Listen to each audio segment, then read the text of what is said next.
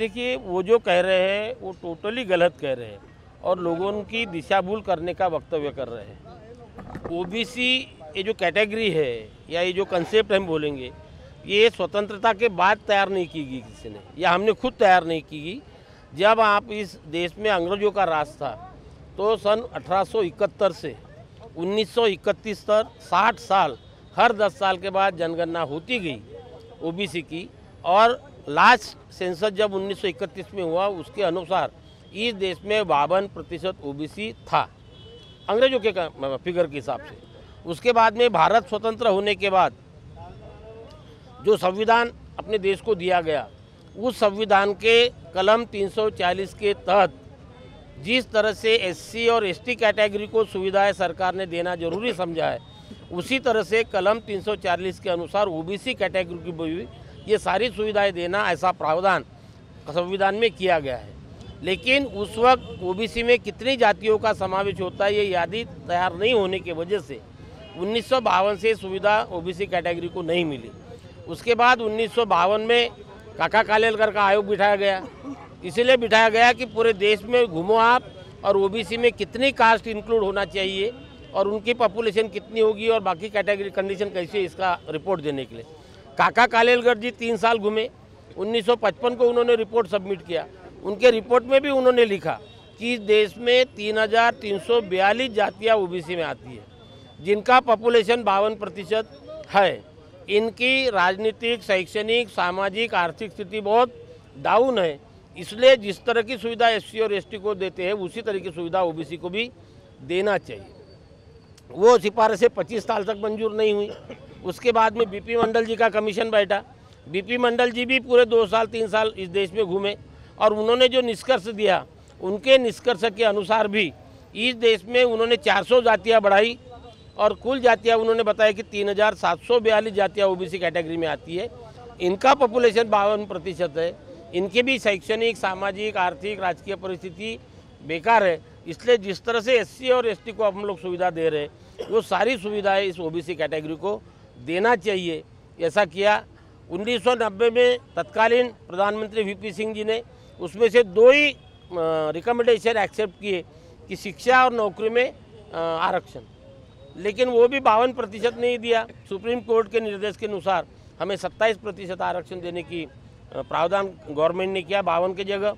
और वो चल रहा है। लेकिन ये सुविधाएँ हमको क्यों नहीं मिल रही? उसका मेन रीज़न ये है कि हमारी पॉपुलेशन कितनी है? ये सरकार बता नहीं पा रही। सुप्रीम कोर्ट के बीच में जो तीन चार जजमेंट हुए, उसमें सुप्रीम कोर्ट ने सरकार को पूछा कि ओबीसी की कितनी जनसंख्या है, आप हमको बताओ।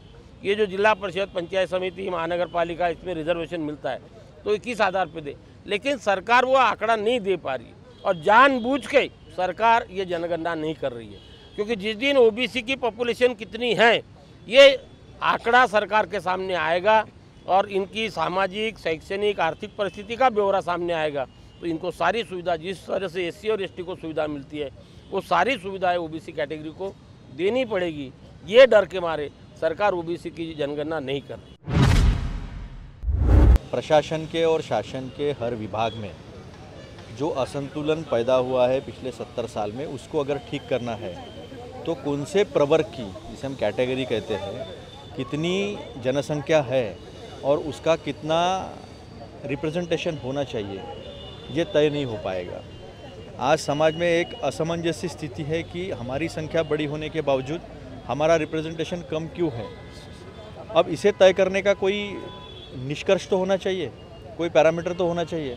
अब वो पैरामीटर होगा कि जिस तरह से कैटेगरी वाइज एस सी का जनगणना में समावेश होता है, उसी तरह ओबीसी का समावेश करने में हर्ज क्या है? जिसकी जितनी संख्या भारी उसकी उतनी भागीदारी, ये जो मांग है, ये मांग इसलिए भी महत्वपूर्ण है कि अगर किसानी बचानी है, इस देश की मूलभूत कृषि अर्थव्यवस्था को अगर बचाना है तो जो भार उसके ऊपर है, जहाँ तीन लोगों ने काम करना चाहिए, वहाँ तीस लोग काम कर रहे हैं। ये भार जब तक हम कम नहीं करते, तब तक हम कृषि अर्थव्यवस्था को सीधा भी नहीं कर पाएँगे। तो ये मसला जो है, ये थोड़ा डिफ़िकल्ट है। लेकिन ये अगर हम नहीं इसको सॉल्व करेंगे तो समस्याएँ देहात में, देहाती भारत में, कृषि अर्थव्यवस्था में, और उसका जो परिणाम है, वो नागरिक अर्थव्यवस्था पे भी होने जा रहा है, होने की शुरुआत हुई है। तो हमारी ये मांग है, ये बहुत जायज़ मांग है, ये देश के हित की मांग है। अगर इसमें कोई दिशा भूल करने की कोशिश करता है तो वो देश के बारे में सही ढंग से सोचता नहीं है, ऐसा उसका मतलब होता है। कि ओबीसी अगर जान जाए कि जैसे वो अगर एक हो जाए उनकी पहचान एक हो जाए कितनी संख्या है, ये तो हमको मालूम है फिर भी वो अगर ऑफिशियली अगर ये जब जब तक ये कम जनगणना नहीं होती है तब तक स्पष्ट नहीं होगा। हालाँकि बावन टक्के फिफ्टी टू फिफ्टी सिक्सटी वगैरह ऐसी तो है ही, इसमें कोई शक नहीं है। मगर वो डरते हैं क्योंकि हिंदुत्व के नाम पर वो जो बेवकूफ़ बना रहे हैं ना आरएसएस का क्या है कि तीन चार तीन लाख परसेंट लोगों का काम है।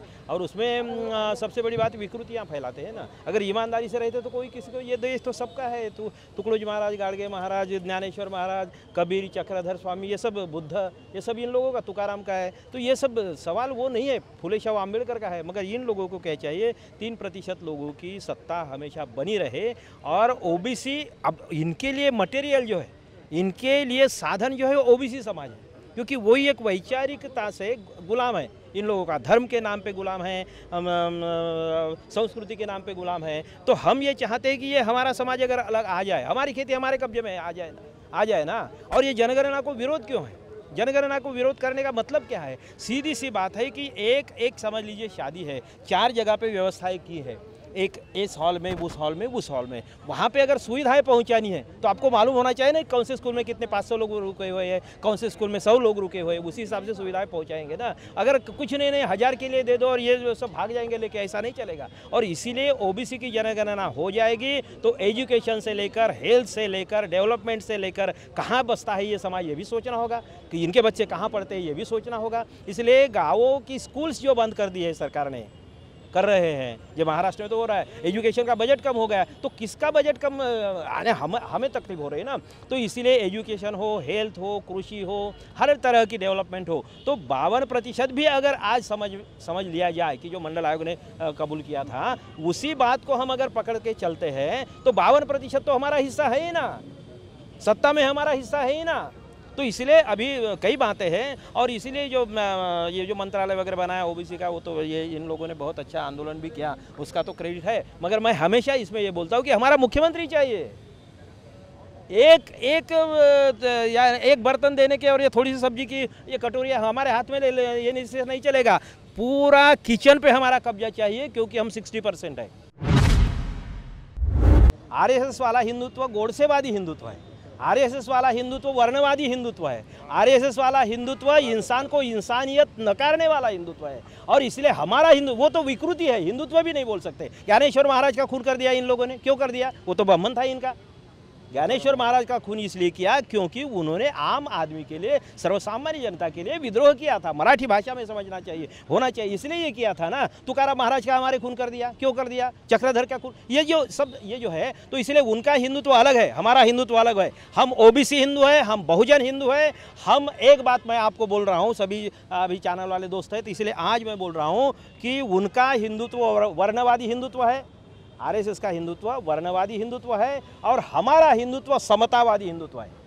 हमारे संतों ने समता की बात की है। आप एकादशी पंढरपुर की यात्रा में देखिए, वारकरी संप्रदाय में देखिए, जाति, पाति, धर्म कोई नहीं देखता देखता है। इसीलिए और हम मस्जिद में जाएँगे, हम, मंदिर में जाएँगे, हम गुरुद्वारा में जाएँगे, चर्च में जाएँगे, हम किसी को, हिंदू धर्म किसी को विरोध नहीं करता है। और क्या- तो इसीलिए संतों ने जो बोला है, सबके लिए खुला है मंदिर तुकड़ोजी महाराज ने, सबके लिए खुला है मंदिर ये हमारा। मतभेद को भुला है, मंदिर ये हमारा। किंवा तुकडोजी महा तुकाराम महाराजांनी तर म्हटलंय की सर्वाघटी व्यापक माझी सद्गुरु माऊली आरतीमध्ये हर घर घर, हर घर घर में, हर घट घट में, हर प्राणी मात्र में, हर जगह पे अगर अगर हमारा सदगुरु है, परमेश्वर है, परमेश्वर बोले तो अलग कल्पना है। वो अभी यहाँ बोलने की बात है नहीं। तो कहने का मतलब हमारा जो हिंदुत्व है, ओबीसी का हिंदुत्व, हम तो बोलते हैं हमारा नेचर जो है हम देखिए गाय की पूजा करते हैं हम खेती की पूजा करते हैं बीज बोते हैं तब पूजा करते हैं फ़सल घर में लाते हैं तब पूजा करते हैं हम बैल की पूजा करते हैं। हाँ, तो ये जो कहने का मतलब हम नेचर की पूजा करते हैं। जो जो हमारे लिए हम नाग की पूजा करते हैं क्योंकि वो वहाँ पे वो कई बातें हैं तो ये सब बातें हैं ना तो ये हमारी संस्कृति है। और हमारा राजा भी जैसे बड़े राजा थे किसानों के राजा थे तो उनके साथ में हमेशा धोखा कर दिया है। तो ऐसे जो लोग हैं हमारे श्री कृष्ण जी थे समता की बात करते थे कि गाँव का दही दूध है, वो गाँव में ही रहने, रहे, हमारे बच्चों को पहले खाने को मिले, बाद में मार्केट में जाए। इन लोगों ने नया, नई संस्कृति लाई। तो कहने का मतलब क्या है कि ओबीसी वाली संस्कृति जो है, वो बलिराजा वाली संस्कृति है समता वाली संस्कृति है श्रम करने वाली संस्कृति है, खुद मेहनत करके उपज पैदा करने वाली संस्कृति है और खुद की मेहनत से बनाई हुई चीज़ें समाज में बांटने वाली संस्कृति है। किसान के खेत में जाइए, वो कभी नहीं बोलेगा कि आप चार हमारे संतरे या एक डजन संतरे खाए तो इसके दस रुपए निकालो। कभी नहीं बोलेगा आपको। आप जाइए तो कभी बैंगन को तोड़िए तो कभी वो नहीं बोलेगा, क्योंकि हमारे आज भी गाँव से अगर कोई बाज़ार में आता है बेचने के लिए सब्ज़ी सब्ज़ी तो वो आपको कम वो कभी नहीं देगा, वो थोड़ा सा दो मिर्ची ज़्यादा डाल देगा। ज़्यादा धनिया ज़्यादा डाल देगा तो ये हमारी संस्कृति है, देने की संस्कृति है।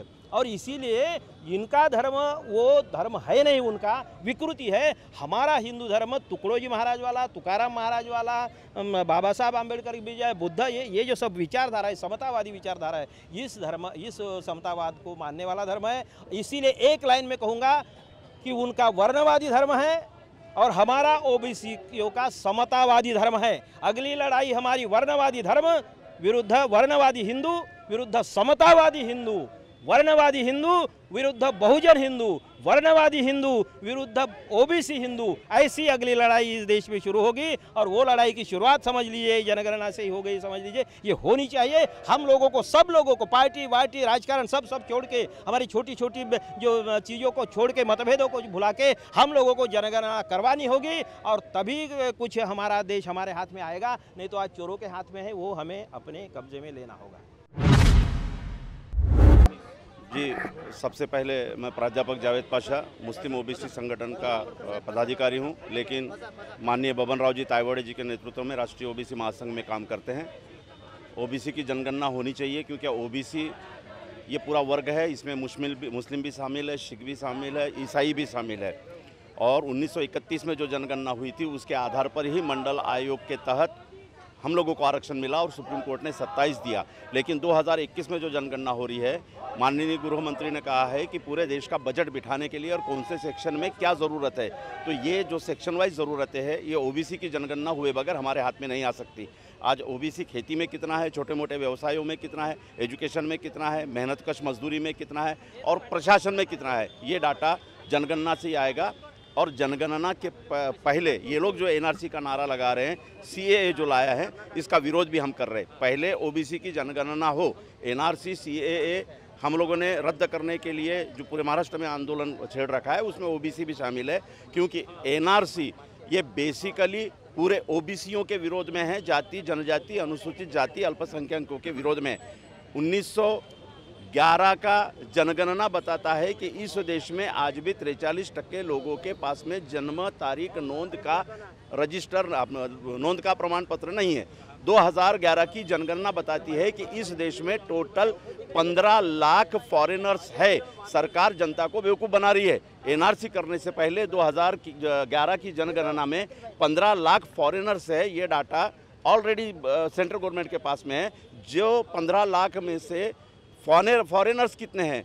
और इलीगल माइग्रेंट्स कितने हैं? इसका भी डाटा है। फिर आसाम में जिस तरह आदिवासी ओबीसी दलित अल्पसंख्यकों को 19 लाख लोगों को नागरिकता से बाहर कर दिया गया। ऐसे नागरिकता से पूरे भारत में ये 45 करोड़ लोग ओबीसी अनुसूचित जाति जनजाति और अल्पसंख्यक, जिसमें मुस्लिम और बाकी अल्पसंख्यक है, इनको बाहर करेंगे। इनका गेम प्लान ये है कि 33 टक्के वोटिंग पे भाजपा चुनकर आई है, लेकिन एनआरसी लागू करके अगर ये लोग 45 करोड़ लोग नागरिकता से बाहर कर देते हैं तो उन्हें नागरिकता में आने के लिए कम से कम पाँच से दस साल लगेंगे। और जब तक वे नागरिकता में नहीं आते, तब तक इन्होंने प्रोविज़न कर रखी है कि एक बार आप अनागरिक ठहरा दिए गए तो आपका सबसे पहले मतदान का अधिकार छीन लिया जाएगा। मतलब अगला 2024 का इलेक्शन, ये इस तरह से 15 करोड़ ओबीसी अनुसूचित जाति, जनजाति, आदिवासियों को, अल्पसंख्यकों को एनआरसी लाकर बाहर करना चाहते हैं और फिर ये सत्ता में आकर बाद में सीएए के माध्यम से केवल हिंदुत्ववाद, यानी आरएसएस का हिंदुत्ववाद, हमारे सबसे पहले वाकुड़कर जी ने जो कहा, वैसे हमारे समतावादी हिंदुओं का हिंदुत्ववाद नहीं, गोलवरकर, सावरकर के हिंदुत्ववाद जो मानेगा, उन्हें सीएए के अंदर में आरक्षण देंगे। इसलिए हमारी मुस्लिम ओबीसी ऑर्गेनाइजेशन, जो राष्ट्रीय ओबीसी महासंघ के अंडर में काम करता है बबन राव जी तायवाड़े हमारे नेता हैं, हम भी मांग कर रहे हैं कि एनआरसी सीए नहीं, लेकिन पहले ओबीसी की जनगणना होनी ही चाहिए। क्यों नहीं होनी चाहिए? 1931 में ब्रिटिश करा सकता है तो हम स्वतंत्र भारत में जो मतदाता है, जो हम सरकार बिठाते हैं, वो मतदाताओं की जनगणना क्यों ना करें? तो हमारी डिमांड है आज, पहले ओबीसी की जनगणना होनी चाहिए, ताकि ओबीसी का वास्तव पूरे समाज के सामने आए। आज हम 60 टका है और 60 टका आरक्षण 60 टका व्यवसाय 60 टका आर्थिक बजट 60 टका शैक्षणिक बजट 60 टका प्रशासनिक बजट 60 टका फॉरेन बजट हम लोगों को मिलना चाहिए, ये हमारी डिमांड है। और एनआरसी, सीए रद्द होना चाहिए, ये हमारी डिमांड है।